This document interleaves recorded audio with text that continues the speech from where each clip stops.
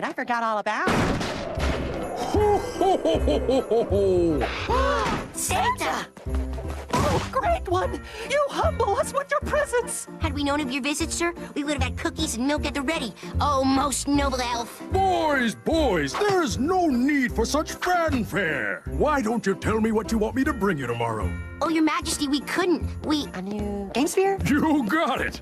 Hey, don't listen to that imposter, boys. Tell me what you want for Christmas. A mountain bike! It's yours. I'll top that. How about a snowmobile? Ooh, that's good. What do you got?